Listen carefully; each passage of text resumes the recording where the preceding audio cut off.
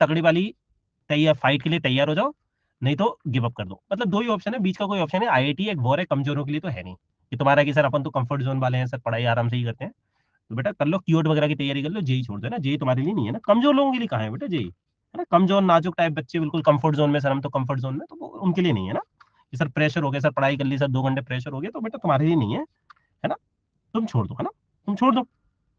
तुम्हारे लिए नहीं है बेटा, है ना? खदेड़ दे जाओगे, अभी पता भी नहीं है कॉम्पिटिशन का, खदेड़ कैसे फेंके जाओगे, पता भी नहीं चलेगा ना?